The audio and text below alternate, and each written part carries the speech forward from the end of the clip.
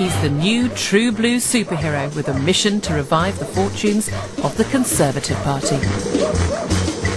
You've got to keep making the political weather. The media is starting to pick up on, on what we're saying. The debate is being set by us. David Cameron aims to lead back to power a Tory party demoralised by three successive election defeats. Being leader of the opposition is one of the most difficult jobs in government. Unless you destroy the stereotype, you have no chance of winning. So Cameron has adopted an unlikely image for a Tory leader and taken up new causes he hopes will chime with young voters. Does this break with the past achieve what he wants? People go on about him being sort of Tony Blair's natural successor. I, I think he's more mine in that he's, a, he's basically the press guy. Party leaders have habitually tried to modernise their parties to gain power, to stop being opposition leader and become leader of the country. So what can David Cameron learn from their successes and from their failures? People have to decide whether he's Chantel, David Beckham, or whether he's actually a great person.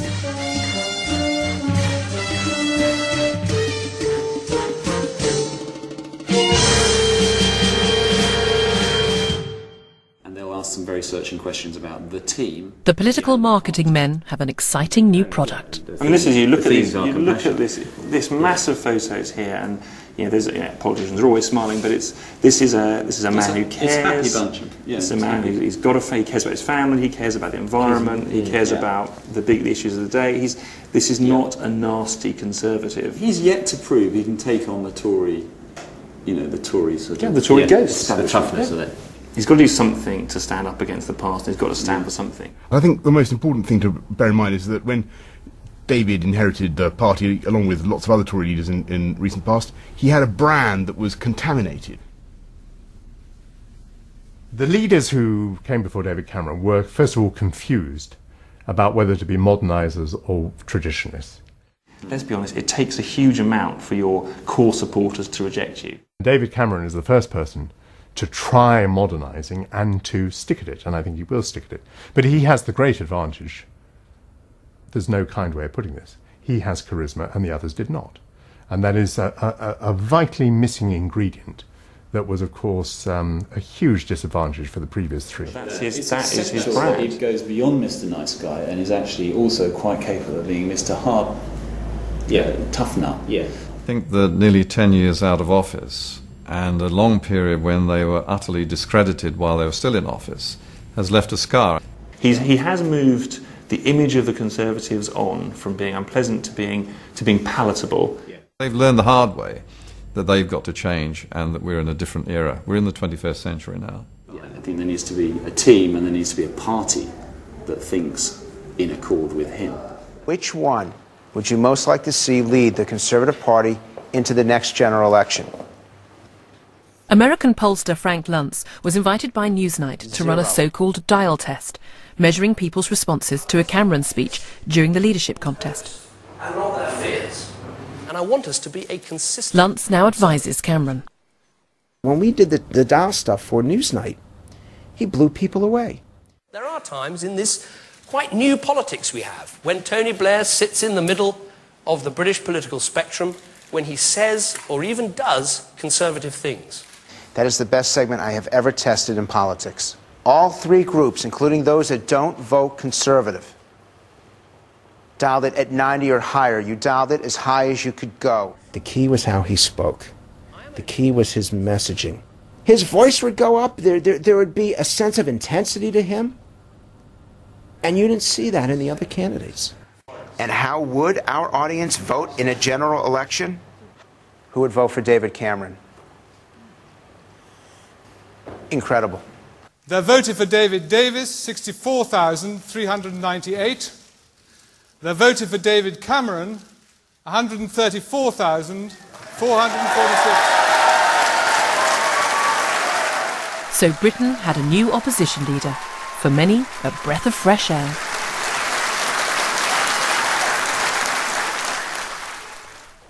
I said when I launched my campaign that we needed to change in order to win. Now that I've won, we will change. At last, a Tory had emerged who could do something quite well. Um, he could stand on a platform and speak a carefully rehearsed speech without notes. That they loved it. Um, and he captured the mood. And it's proper. That's how leadership works. You capture the emotions of people, and he did that. Uh, and suddenly they, they snapped out of their slumber and they started thinking it. They started believing that they could win again. I'm fed up with the punch and judy politics of Westminster. I think today policy matters hardly at all. Um, why? Because people don't believe politicians. If you say, I'm going to cut taxes, they don't believe you. What they think is, aha, that's code for I'm going to cut public spending, I'm going to cut public services. No more grumbling about modern Britain. I love this country as it is, not as it was, and I believe our best days lie ahead. What people want to know is, what kind of a guy is this leader? Is he there basically to do a good job or a bad job? Is he there to help other people or not? In the end, it's about what you decide you are going to do as a party of government. And the public aren't stupid, the public get there, they get the point about people. So at the moment, I mean, Cameron is having the most incredibly long media honeymoon, I think, of any political leader ever. And he will find very, very quickly that unless you've done the really difficult policy decisions, you unravel. And I, I can't see Cameron really sustaining it through an election campaign because he doesn't strike me as having the depth. David Cameron may well be making political waves. The strategy is grabbing the headlines, and the Tories think they're on the up again. But getting your political grip is about more than just a slogan or two. Perhaps now the Tories will start to learn the lessons of the past, starting with 1945, when the party was left reeling after the country deserted them. Churchill was certain the voters he had led to victory would keep him in number 10. I can feel it in my bones we're going to win. But his bones deceived him. A Labour landslide condemned Britain's greatest war leader to the ignominy of being opposition leader. There's always said to have been a Yugoslav lady who, when Churchill was defeated in 1945, uh, said, Oh, poor Mr. Churchill, they'll now take him out and he'll be shot. But on hearing the story, Churchill said, no, no, no. They've actually reserved a far worse fate for me. I'm going to have to be leader of the opposition. And leader of the opposition is a dreadful job, frankly. Uh, and it's an even worse job if you've been prime minister.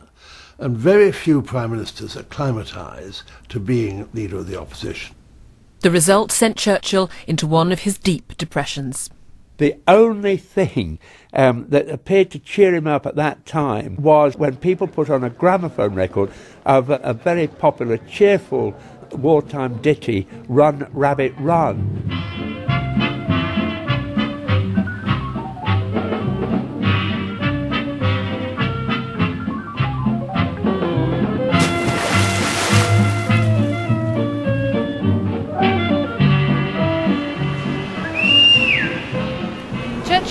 Colleagues running the country, choosing instead to while away his time drinking vintage champagne here at the Savoy. In victory, I deserve it, he said. In defeat, I need it. The Tories almost believed they had a God given right to rule. They were out of sorts and out of office. As one Tory woman said at the time, they've elected a Labour government and the country will never stand for it. He really ran the opposition very badly. He used to have these lunch parties. They drank a great deal. No one quite clear at the end what had happened. He was always saying to his colleagues on the front bench, hold yourself in readiness. I may speak or I may not. Uh, so you better be prepared. And they all got fed up with it because um, sometimes the old man would, would appear and they'd have prepared a great speech and they wouldn't have the chance of delivering it. Clement Attlee's government set about creating the welfare state. In the Tory opposition, it was Shadow Chancellor Rab Butler who understood how different the post-war world would be. The Tories realised there was a new world and they adapted quickly. Now, during the Second World War, the Tories had already been working within the coalition with Labour on policies that were semi socialist, like the creation of the National Health Service. That was a joint Labour Conservative project. So, actually, they were pretty well suited, they were pretty well prepared for accepting a much more socialised, socialist world post 1945. And to the credit of the Tory party, they took that on board pretty quickly, and they kind of beat Labour at their own game. In 1951, to be precise, when the Tories found themselves back in power and Winston back in number 10. Labour would remain out of power for the next 13 years. Your lecture tour tell us something of how you view the election prospects? Oh, we shall go into a good fight. Very good, very good chance of winning. And it was Shadow Chancellor Hugh Gaitskell who became Labour leader when Attlee lost the election in 1955. Hugh Gaitskell was very much a new Labour man. He was really Mr Blair before his time. He was to the right of the Labour Party, and there's a view today that if he hadn't died so young, Labour would not have had the checkered history they've had. Rab Butler's and Hugh Gaitskell's policies were then thought to be indistinguishable, and the term Butskellism was coined. Butskellism, from which I think both Hugh Gaitskell and Rab Butler suffered pretty horribly, was a term invented by The Economist. And there was something in it, because there wasn't a great divide in those days between Gaitskell as Shadow Chancellor and Rab as Chancellor. But Gaitskell's struggles with his divided party were reflected in the results of the 1959 election. In Leeds, Mr Hugh Gaitskell, the leader of the opposition, though re-elected, was still to be in opposition. He lost by a hundred seats to Macmillan. Macmillan fighting on the sort of washing machine and the refrigerator and the smart car in the garage. A real consumer uh, Goebbels election, that. But then after 59, he decided, you know, I've got to do something to modernise the Labour Party. We can't go on like this. We can't go on being the party of the co-op against Marks and Spencer. It won't do. Symbolic of Gaitskell's problem was Clause 4, Labour's pledge to nationalise industry. He made a speech about three or four months after the election and called for the removal of Clause 4. Nationalisation, on balance, lost us votes. Well, I said the majority view, and I'm not surprised that there should be a minority that disagrees. Gaitskell's mission unfulfilled, he died in 1963. Would his successor do what he never did and become Prime Minister? Who would his successor be? It was that cunning political operator, Harold Wilson. Mr. Wilson was one of the most Machiavellian politicians ever at Westminster. But he had a very tricky job because the Labour Party then, uh, indeed at most times in its entire history, there's been a lot of infighting, and he had to sort all that out. But he was, I think, the right leader uh, for the Labour Party at that time. Wilson, like all Labour leaders before and since, had to deal with his dissidents. But he appealed over their heads to the electorate outside with a vision of a modern party that would modernise Britain once elected. The Britain that is going to be forged in the white heat of this revolution will be no place for restrictive practices or for outdated methods on either side of industry. Used to hear an endless amount about aluminium smelting. God save us, aluminium smelting in South Wales. Endless speeches I've heard Wilson make about that. Not you'd have thought terribly sexy subject, but he somehow made it exciting because he said, we are the modern party, we stand for the white heat of the technological revolution. The Tories are just a crowd of old fuddy-duddies. Harold Wilson was a great communicator and had used all these techniques like the pipe and so on to communicate a sort of affable, friendly chap. No one was cleverer, I think, at planting stories. No one was cleverer at knowing when he should appear on television, when he shouldn't appear on television. And he was a, uh, he was a very consummate artist in terms of modern politics. By contrast, the then Tory Prime Minister, Sir Alec Douglas Home, looked out of touch. There's a famous exchange he had with a television makeup lady and he's sitting there in the makeup room in front of the mirror, and he says, I hope you'll be able to do something to uh, make me uh, look better. I usually look ghastly on television. She said, afraid nothing can be done. He said, what do you mean nothing can be done? He said, well, I'm terribly sorry, there's nothing I can do. You've got a head like a skull, and I can't disguise that. It may have been his patrician looks, or public fatigue with Tory scandals, but Home was defeated in 1964. Harold Wilson exchanged the worst job in politics for the best job. The Tories decided to select their own version of Wilson, grammar school boy Edward Heath. Unfortunately for Heath, he didn't have Wilson's media and presentational skills. Ted was never the sort of people's hero. I think there was a certain respect for him, uh, but you know, there's awful heaving shoulders and that laugh. it wasn't sort of prime glamour material for a politician. I said, well, it's quite easy to do an impersonation of Edward Heath. Anybody can do it. You can try this at home, actually, for yourself. All you've got to do is imagine you're wearing a badly fitting jacket like that. then imagine somebody's dropped itching powder down your back. and start laughing. I think Edward Heath was wholly unsuited to be a modern party leader. He was a very awkward figure, very lacking in charisma. He was considered to be a very untelegenic figure. He'd go into a pub and really look badly out of place. I'm a home loving man. Yeah, yeah. I, Well, you better go home now, I think. I'm going on now, Ted. The biggest issue with Heath was that he was a single man and therefore lonely and isolated, and he communicated in that way. Um, he, he- he was slightly pompous, slightly patronising. He didn't reach out to people, he talked at them. How low does your personal rating among your own supporters have to go before you consider yourself a liability to the party you lead? Well, popularity isn't everything. And Ted Heath didn't enjoy much of it. His occasional awkwardness was famously seized upon by Harold Wilson, who accused him of being a shiver, looking for a spine to run up.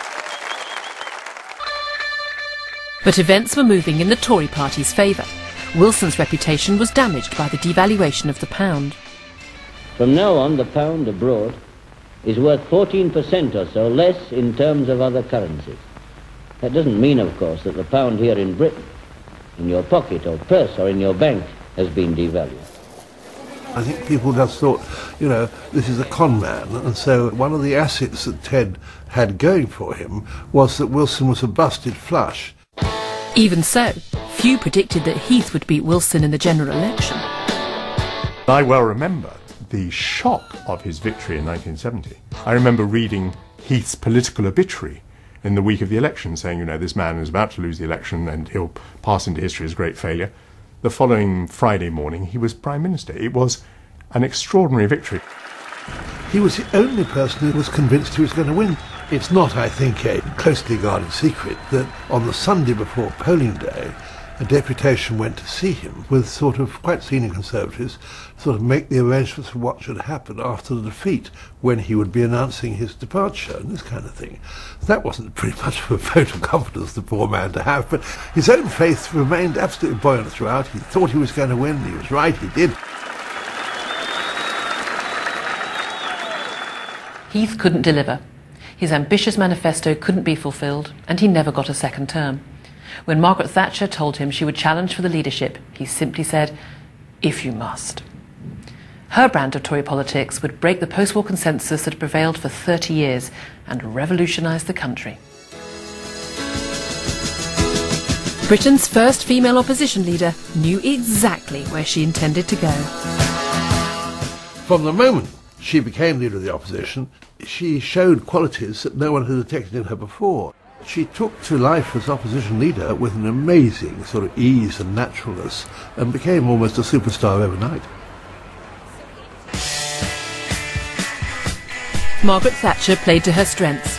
A striking woman, attractive to many men, she slowly overcame residual prejudice in her front bench colleagues. There were lots of people who were pretty snobbish about her. There was a kind of feeling that she wasn't uh, top draw, that she was an anomaly, that probably she'd only be there for a short period, win the election or not win the election, probably this was going to be a short-term phenomenon. Well, how wrong we were. Britain is not a place merely for big, large companies. She had a very clever whiz-kid kind of advisor, a man called Gordon Reece, who was a television producer. And he did a marvellous job for her. He lowered the voice an octave, as he said. I don't believe it was a whole octave myself, but certainly the voice did become less high-pitched. And on the same issues, you know, the tax, prices, law and order. He taught her to understand how image worked. So she thought about it. Uh, and so she would think about the jewellery she was wearing, she would think about the clothes she was wearing, she would think about the environment she was in, the people that were with her, and so on. Margaret Thatcher came to dominate the media that had so unkindly depicted her predecessors. She was at home in a studio, well trained for the demands made of a modern politician. Let me introduce uh, straight away the leader of the opposition. A piece of music we've got. Two brothers fighting on opposite sides, and one sees the other. I hadn't heard Did that. you think I'd leave you dying when there's room on my horse for two? Two little boys had two little toys. Each had a wooden horse. Yes, I'm coming round again, and down, down, and up, and round about. In the 1979 election campaign, she uh, held the calf in her arms, much to the horror of her husband Denis, who was there. So put that bloody thing down, it'll be some terrible accident. She did create an image that was maybe not everybody's cup of tea, but which was an absolute brand, wasn't it? I mean, if you think back now of Mrs. Thatcher, you think of the hairstyle, you think of the blue suit, you think of the penetrating eyes. It was a brand. and Margaret Thatcher just had, I think, the strongest brand of any politician that I can recall.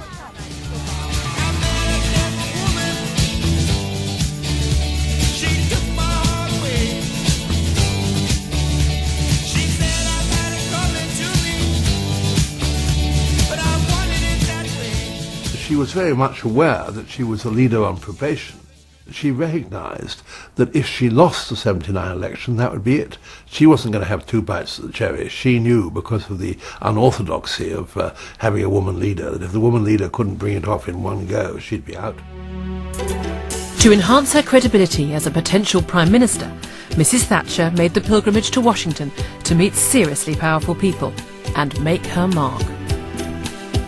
She didn't do what politicians are supposed to do, um, which is to speak about the glories of Britain. She attacked the British government, which you're not supposed to do. And when she was told off about this, she said, It's not part of my job to sing the praises of a socialist Britain. The present Labour government has changed the law in such a way that a person who's worked satisfactorily and well for a company or undertaking for years can now be sacked. Not because he's not a good worker, but because he refuses to join a union.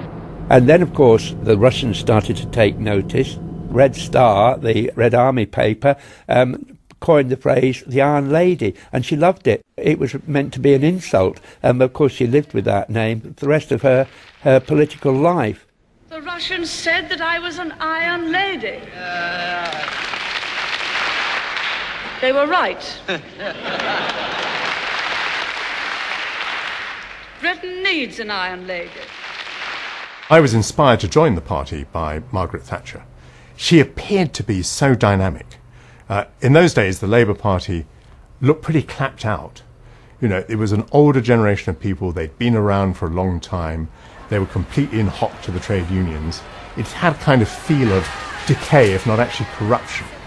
And she came along and she was absolutely bursting with life. I mean, it was in her personality. I remember young people thinking, this is the coming thing. This is the new age. This is where the future is. This is where the dynamism is. In 1979, Prime Minister Jim Callaghan had been humiliated by the strikes in the winter of discontent. This was the Tories' opportunity. The rubbish piled high in the streets, ambulances left unmanned, the dead unburied. She won the election because Britain was a tip. Um, inflation was whatever it was, 14%. In interest rates were 16%. Unemployment was three and a half million. And we'd just gone to the IMF for a huge loan, so we were bankrupt. The truth about the 79 election is not that they embraced Margaret Thatcher, it's what we think about today, 30 years later. The public did not embrace Margaret Thatcher, they rejected the Labour Party. Labour had been there too long. All the conditions were there for a Conservative victory. But she still believed that if she frightened the electorate with policies that were too radical, even at a time when people might be inclined to think that radical solutions were called for, that in the end they would balk at it and they wouldn't elect her. So she was Margaret Cautious Cautious Thatcher. The Saatchi Brothers advertising agency was hired by Central Office for the campaign. The young Tim Bell was among those behind one of history's best remembered election posters, the one with the winding queue. It was quite revolutionary to suggest that we ran a poster all over the country that instead of having Conservative in the headline, had the word Labour in the headline. So we had a conversation about that. Um, and quite a lot of her colleagues were extremely anti it and thought it was um, too clever by half and so on. Uh, but we won the day, ran the poster. It, of course, caused the most extraordinary controversy. Denis Healey attacked it on television. It got shown on all the news bulletins um, and achieved the kind of level of exposure that was probably 10 times or 20 times what was spent on it. Mrs Thatcher's victory in 1979 was when all her work in opposition finally paid off. Surprisingly, this man, Michael Foot, was elected leader of the opposition. Best news for Mrs Thatcher. What do you say to that? Who could be such a fool as to say such a thing as that? How the Labour Party came to elect Michael Foot as leader uh, is an absolute mystery. Michael Foot was even then quite old, but he certainly looked a lot older than he was. His white flowing hair, his stick. He used to go walking on Hampstead Heath with his dog. The photographers loved it because he looked like a geriatric. He was a complete disaster. I think that there were kamikaze pilots, Labour MPs, who deliberately voted for Michael Foot in order to destroy the Labour Party. Then they went off and joined the SDP. Undeterred, Foot launched Labour's next election manifesto. It was full of left-wing tripe, quite honestly. And uh, one senior Labour MP, Gerald Kaufman, described it as the longest suicide note in history. The Labour Party underfoot, as it had indeed been almost throughout the post-war period, deeply suspicious of marketing men, deeply suspicious of advertising men, deeply suspicious of public relations people, very uncomfortable. It was like supping with the devil. They brought their very long spoons when they met with people.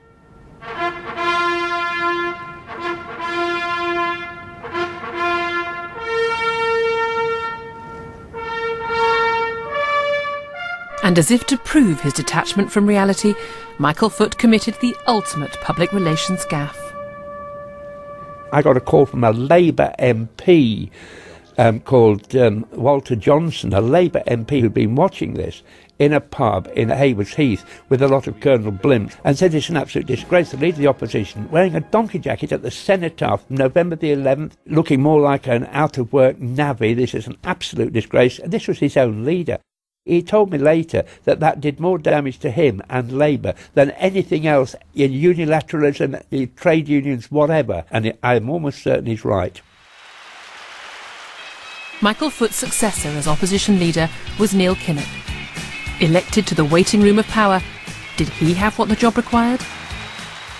Kinnock, I think, is the great underrated leader of the opposition of the 20th century. He served nine grueling, really grim years. And I think, insofar as the job could be done, he did it pretty well. And like all Labour leaders, Kinnock had to confront the extremists in his own party to convince the public that Labour was electable. He wasn't a great Commons performer.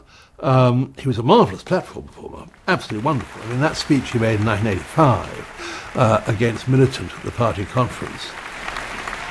You start with far-fetched resolutions. They are then pickled into a rigid dogma, a code. And you go through the years sticking to that, outdated, misplaced, irrelevant to the real needs, and you end in the grotesque chaos of a Labour council, a Labour council hiring taxis to scuttle around the city, handing out redundancy notices to its own workers.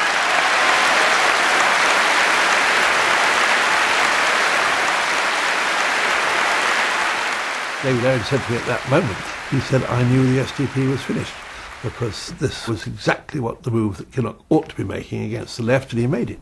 It was very clear to me that we would never be taken seriously or indeed safeguard the integrity of the Labour Party if we allowed these parasites from the ultra left to keep on flourishing. So they had to be dealt with. There's one, actually one better speech to be made. It'll be the first one that I make to address the Labour Party conference as Labour Prime Minister. Neil Kinnock had one big difficulty as leader of the Labour Party, which was that he was trying to change it in every direction. He wanted to pull out of the European Union, he wanted to ban the bomb, and uh, on almost every single one of them, he performed a public and rather embarrassing somersault. So his credibility was damaged from the outset. You can say for Neil Kinnock that he sacrificed his personal reputation for the political good of the party. These things needed to be done, but the price of doing them was that he lost credibility for his own personality. I remember just before the 1987 general election, Kinnock said to me, only another 36 hours of Thatcherism. Of course, that was completely wrong. They suffered a huge defeat, and Thatcher was, um, was sailing on. The most basic raw ambition was not to come third, which seems like a very, very modest aspiration in the circumstances, but that was the reality that we confronted. I don't say this as a personal insult.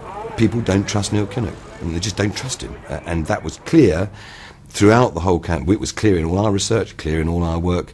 We knew he couldn't win because the people didn't trust him. And so it proved in 1987. The Thatcher era continued into its third term. Neil Kinnock remained leader of his party, yet he still had an image problem, despite the best efforts to change it. My guy's mad at me. He uh, took part in a video with Tracey Ullman trying to look, make himself look young and trendy. But young people took one look at this and just regarded him as a plonker. Neil Kinnock was just one of the boys or one of the boyos, and uh, he never overcame his previous life, which was to be in the press gallery bar drinking and singing until midnight, or doing something like that around the country with members of the Labour Party. He uh, was never taken fully seriously, and one of his biggest problems was his tendency to waffle. He was notoriously known as the Welsh windbag. Being the Welsh windbag had something to it, partly because um, I do use colourful speech. And uh, there are elements in politics and the press who don't like that. Well, they've got to lump it. But the second reason is there were whole periods during which I couldn't disclose my strategic efforts and objective in changing policy. So there were often times when I was asked questions in interviews, for instance, when I had to flannel because I couldn't give a straight yes or no answer since it would have given the alarm to those people whose objections I had to overcome, particularly in the Labour Party.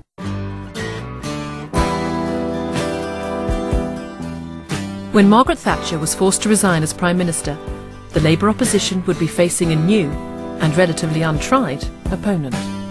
It's an enormous encouragement to know that so many people in the parliamentary party are prepared to entrust me with the leadership of the Conservative Party, and I will endeavour to discharge those responsibilities to the best of my ability. John Major was arguably less of a challenge than Thatcher, and Kinnock entered the 1992 election with confidence. Probably too much, as he revealed at the huge televised American-style rally. Here, inside the Sheffield Arena, Neil and Glenys Kinnock. I remember it vividly. Uh, I was watching it on television, and suddenly Neil Kinnock burst onto the stage like a vaudeville comic, shouting, Well, all right, uh, well, all right. Well, all right. Well, all right. Well, all right. You could see behind him um, old hands like Gerald Kaufman and Roy Hattersley clutching their fevered brows. They could see that this ludicrous performance was causing thousands and thousands of Labour votes to go down the drain. I thought at the time, this is terrible. And the audience went wild. But I think everybody else watching the television in their lounges felt a chill going through them. And I think if there was ever a turning point in Neil Kinnock's chances of winning the 92 election, that was it. The rally had no significance whatsoever, positively or negatively. The profound reasons lay in the fact that we hadn't made the big changes with sufficient speed to give us enough time to ensure that the general public understood that the fundamental reforms that we'd undertaken were profound, rooted, lasting, and they hadn't been produced as expedients just to try and impress the public before the general election. They also had very serious doubts about whether the Labour Party itself had really changed enough, whether it had turned its back on the, on the bad old days, as many people saw it, of union domination and left wing policies and so on. And they honestly didn't believe that Neil Kinnock and his party had changed enough. Ten days later, Kinnock lost his second general election and stood down, having laid some of the groundwork for his party's future.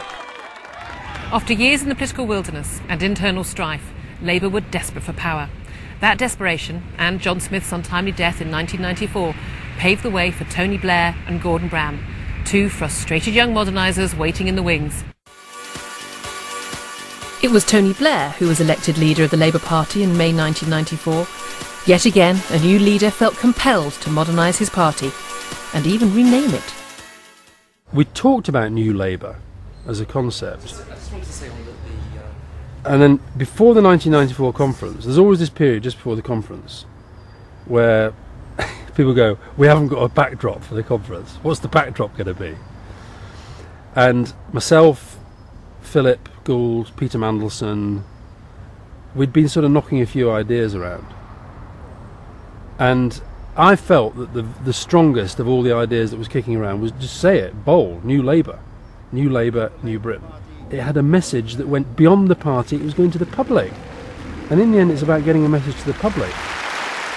Blair managed to persuade the Labour Party to scrap Clause 4. This was something that a number of his predecessors had tried and failed to do. From the word go, Blair imposed his will upon his colleagues. I remember that morning, Tony had just been seeing some of the shadow cabinet sort of take them into the into the loop, as it were. And I can remember Robin Cook, for example, saying, "Well, Tony, I just have to warn you. I think this could lead to the Labour Party being completely torn apart." And she said, "Well, why? Why should it? Why do you say that? I mean, what's wrong with saying what we believe in?" This is a modern party living in an age of change. It requires a modern constitution that says what we are in terms the public cannot misunderstand and the Tories cannot misrepresent. I honestly think that was a pillow fight. I think it was a pure symbolic gesture. It was not difficult in 1994, good save us, to abolish something that Hugh Gaitskell wanted to get rid of in 1959 or 1960.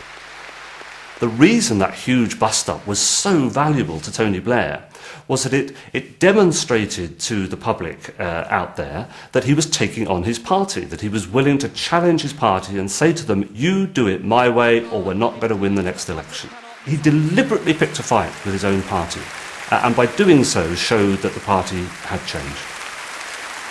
I think it was one of the best conference speeches he did. He said, you know, they were, they were all on their feet applauding, and all around the hall you could hear the sound of pennies dropping. In other words, he made Labour electable after nearly two decades of losing to the Conservatives. Blair focused on winning over Middle England. In the past, the dividing lines between Labour and the Conservatives had largely been set by the Conservatives. The Conservative says, this is what we stand for, that's what Labour stands for, and there's the dividing line. What Tony Blair was determined to do was to shift those dividing lines to a completely different place, where they were being defined by what Labour stood for and not by what the Tories stood for, pushing the Tories into a corner. Uh, and it worked very effectively. Sometimes we'd have a message, say, power, wealth, and opportunity in the hands of the many, not the few, for example. And that was part of the new constitution, that phrase. And tough on crime, tough on the causes of crime. Governing from the radical centre. All these sort of phrases that they come in and they come out of the political debate. Sweep away the dog. But the crunch would be the election of 1997, in which Labour was the odds on favourite to win. In opposition, Blair had painstakingly prepared for this contest.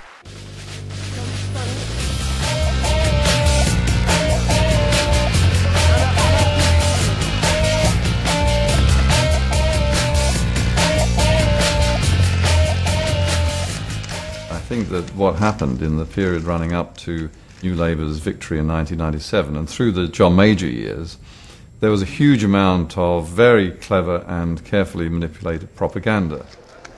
What he did so cleverly, in my opinion, was to conduct what was a grand larceny, really, of Tory language. Um, uh, and also, he, you know, brought in what amount to Tory policies. And, and of course, this was very, very difficult um, for the Conservatives in government um, to oppose. And even to this day, the Conservatives in opposition are finding some of the policies um, they like and they can't oppose them, uh, which is quite embarrassing for them. We've always been for all party talks and all party participation. Tony Blair's political friends were of the centre, not the left. Centrists like Bill Clinton taught Blair how to woo the swing voters, the people who decide the outcomes of elections. People saw the 97 election under Tony Blair, people in the Labour Party saw that as the last chance.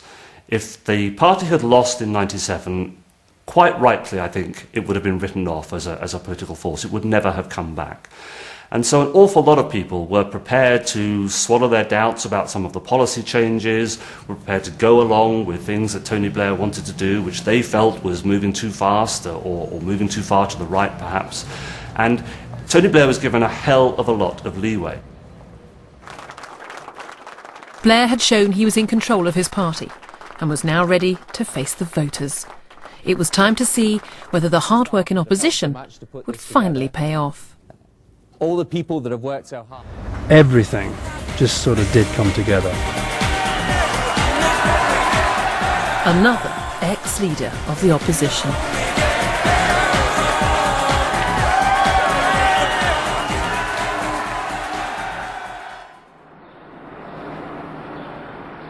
So who would be the next one?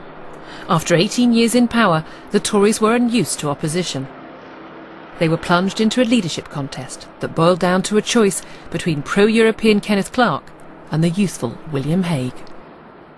The result of the third ballot for the leader of the Conservative Party is as follows. Kenneth Clarke, 70. William Hague, 92. I therefore declare that William Hague... What mattered to most members of Parliament was not what maximised their chances of being elected, which probably would have been the blokish, smiling, relaxed Ken Clarke, but rather taking a punt on a complete unknown and a very inexperienced person, William Hague, um, because the most important thing to the Tory members was that he was not pro-European. In fact, that he was anti-European. I think history will say that the Conservative Party brought about its own downfall uh, through being just simply stubborn and saying we'll elect who we like, we don't care what the electorate believes about that at all. I like to move it, move it. William Hague's attempt to look youthful backfired. A lesson perhaps for David Cameron? William Hague was talked into doing a lot of stupid things which he probably wouldn't have done on his own, going around with a baseball cap with Hague on the front. And various other things that he did which really, quite frankly, made him look a chump, and people see through all this. There we are then. Sam Smith's Yorkshire. Right. Well. A lot of the things that he did or boasted about really came back to hit him in the face. He used to say that he drank 14 pints a day when he worked as a drayman's assistant and that he once drank more than 32 rums at a session. Well, that'd, that'd kill most people. And in fact, one of the publicans in the area in South Yorkshire where he's supposed to have drunk 14 uh, pints a day said, oh, that's all a load of lies. We used to call him Fizzy Willie because he used to get drunk on half a pint. Just like it should be. I know he's very keen on summing up policy in six words. Well, how about this? You are the weakest link, goodbye. It was better than the Palladium on a Saturday night when Hague and Blair were at it. Judging by the content, Mr. Speaker, of the Queen's speech, this is probably to be the last Queen's speech uh, of this Parliament. In fact, there was so little in it that I think it was very good of Her Majesty to come down here to deliver it at all the funniest and most incisive opposition leaders I've seen in, in more than 40 years there. He was absolutely brilliant, more often than not, he had Blair reeling on his heels. But when it came down to what really mattered, he was a complete failure. Hague turned on the road to modernisation. You know, he began by being a sort of moderniser. And then he hit the panic button. The advisors said, look, you're losing the traditional Tory supporters. Um, if you get back onto being against uh, immigration, against Europe, in favour of lower taxes, at the very least, the Daily Mail will support you. And he couldn't see anybody else who was supporting him. And so that's the way he went. And uh, a very reactionary programme it was. And it was annihilated by the electorate. when we got William Hague fighting, I think, the uh, 2001 election, 10 days to save the pound, this kind of thing. Well, it looks ludicrous even now looking back. Uh, and uh, I think that uh, they were just caught up and obsessed by this extraordinary kind of uh, uh, enmity that they had developed towards the European Union. After losing in 2001, Hague stepped down as opposition leader. We have not been able to persuade a majority, or anything approaching a majority in the country, that we are yet the alternative government that they need. Nor have I been able to persuade sufficient numbers that I am their alternative Prime Minister. Cameron can learn from Hague lots of negatives, lots of things not to do. Don't talk about immigration. Don't talk about tax cuts. Don't talk about Europe because those are what the people expect Tories to talk about.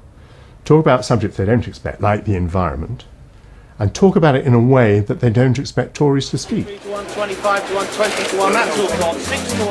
After Hague, who would lead the Tories? Out of a crowded field of candidates, party members chose a dark horse. Iain Duncan Smith's appeal seemed to lie in his anti-European stance and not being Kenneth Clarke.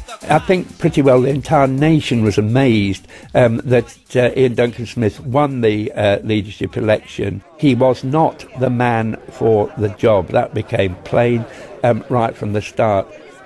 Iain Duncan Smith was the proof of a party in total doctrinal extremis, and only a party that had sort of uh, lost all touch with reality could conceivably have elected Iain Duncan Smith, never been a minister, against a man who'd been Chancellor and Home Secretary and Education Secretary, was still, at those days, in the full flush of vigour. Ken Clarke, popular with the public, sort of hush puppies and all. And if they couldn't see that, then they didn't deserve to be elected. He lacked the charisma, he lacked the personality to be, uh, personality to be leader. And he struggled to see how he could introduce his ideas of social change against a background of depending for support on the most reactionary elements in the party. For Duncan Smith, doubts about his fitness for the job set in early. He even made a sort of public apology for his failure to make much impact. Do not underestimate the determination of a quiet man. The thing that was peculiar throughout the entire speech was the way that every two or three seconds there would be a, a standing ovation. And looking at it from outside, you saw the whole audience sitting on its hands, and suddenly a little square surrounding uh, the speaker, Iain Duncan Smith, erupting and standing up uh, and applauding. And they did it uh, as if orchestrated, and of course they were being orchestrated. Labour MPs couldn't wait to poke fun at the quiet man by shushing him. Iain Duncan Smith. Yeah the following year, um, he, he, he um, sort of uh, boosted that by saying um, the quiet man is turning up the volume, which, which wasn't really very clever. The quiet man is here to stay, and he's turning up the volume. He never really galvanized the party. He never got enough people behind him. He didn't have the support inside the higher reaches of the party that he needed to stamp his authority on what was still a bedraggled, defeated, demoralized party. And basically, he simply never got off the ground. Actually, what would be really nice is if you paused and waved here, because actually it shows you're very relaxed. And if you then went to the other side. Michael Howard became opposition leader when Duncan Smith was forced out. As a fellow barrister, he was a match for Tony Blair in the Commons. First of all, I should welcome the Right Honourable gentleman to his new position and and to say how delighted I am that someone written off under the last Conservative government is now given the chance to rehabilitate himself under Labour. Let me, let me make it absolutely clear. I'm very happy to debate the past with the Prime Minister any day he likes. Any day he likes. I've, I've got a great big dossier on his past. I've got a great big dossier on his past, and I haven't even had to sex it up. We were in considerable difficulties um, at, the time that I took over. Um, we were perceived as um, very divided party. And um, a lot of the commentators were predicting that uh, if things carried on as they are, we might end up in third place at uh, the subsequent general election. So the first priority was to restore a sense of discipline and unity, and then to change the way in which the party was perceived and to show that we were a credible uh, and convincing alternative to Labour. The 2005 election campaign became dominated by Howard's tough stance on immigration. Like Hague's saving the pound, repetition started to bore the voters. Immigration was one of our five um, key um, messages. Um, it did attract a disproportionate amount of attention, and not from me. I think we devoted one press conference to our policy on immigration, but obviously, in a lot of the interviews I did, um, immigration tended to dominate the coverage. If you're thinking what we're thinking about clean hospitals, you have the opportunity to send a message tomorrow. Vote Conservative tomorrow.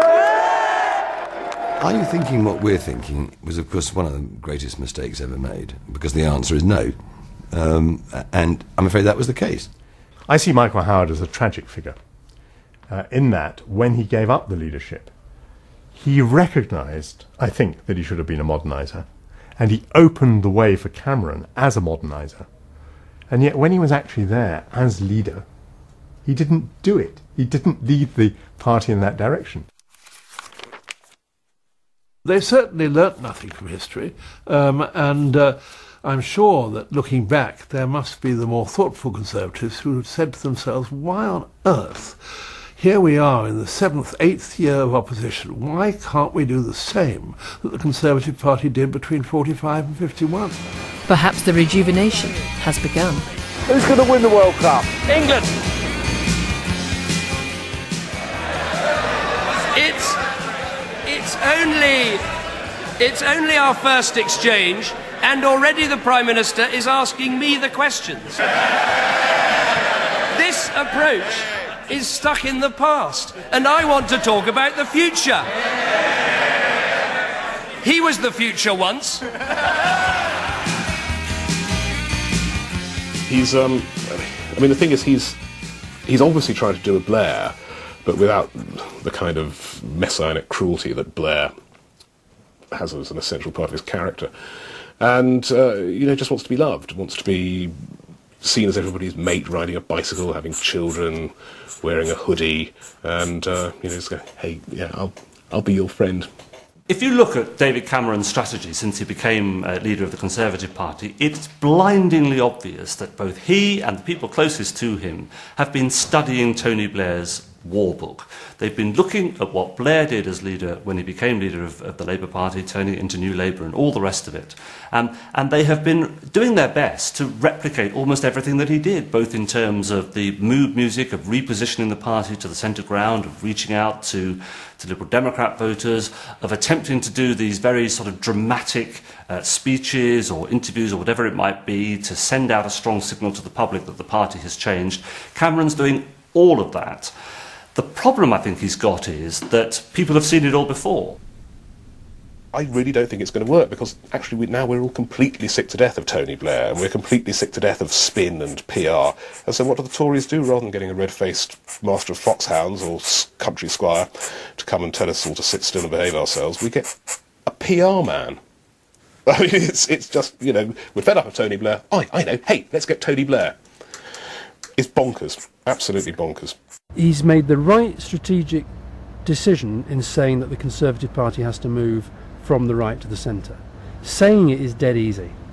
You've then got to drive it through with policy. For now, Cameron isn't spelling out detailed policy. But in more subtle ways, he set out to change voters' perceptions of the Conservatives. Like every leader of the opposition, he needs to reconquer the middle ground. Being on the middle ground, in my view, is not something the Conservatives should be frightened about. It's a position that they should relish and they should welcome. And they shouldn't be distracted by the anomaly of Mrs Thatcher's period in office. Mrs Thatcher brilliantly capitalised on a period in which the Labour Party moved to the left, and that gave her the opportunity to move to the right. But that was very, very atypical. And where the Conservative Party has failed since is not to recognise quickly enough that when the Labour Party moves back to the centre, you must scramble back to the centre as well. But what happens if you overdo it and leave behind your core supporters? One of Cameron's first real tests came recently in the Bromley by election. The safe seat had been held by a traditionalist right winger, but the Tories very nearly lost it. The result is a warning to Cameron. The Conservative Party has not moved one inch. David Cameron has convinced the public that he is different to their normal expectation of a Tory leader. Brilliantly done. Well done. He has convinced um, the public that he thinks the Conservative Party should be different. He has not changed the Conservative Party. So is Cameron, with his environmental concerns, out of tune with his own party? He has yet to tell us what he plans for tax, crime, and immigration. The Tories may not be very different, but the style of their leadership most definitely is. No leader changes the entire party. Blair certainly didn't. Much of the Labour Party remains, remains unreformed. I think you only need a fairly small team. Margaret Thatcher had at most half a dozen like minded people. Uh, Blair, Brown, Mandelson, who else? It was quite a small team. And Cameron's the same. Provided you've got three or four people around you who walk the walk and talk the talk, you can give the impression that the party has changed. And that's what Cameron will need to do. Will he be another Gaitskell or Michael Howard, an opposition leader who never made it? Or another Wilson, Thatcher, or Blair? I think he's made a brave dab at trying to get people to believe that the Conservative Party is not the Conservative Party of Margaret Thatcher or anything like that anymore. Trouble with doing that is that you do risk uh, alienating some of your core vote. And I think there will be rumbles on the right before David Cameron ever gets in, if he does, to number 10. Cameron can be Prime Minister in two jumps, not one. In my view, he cannot win the next general election simply because the Tories are too far behind. But he'll do well enough to be kept as Tory leader and well enough to win the time after.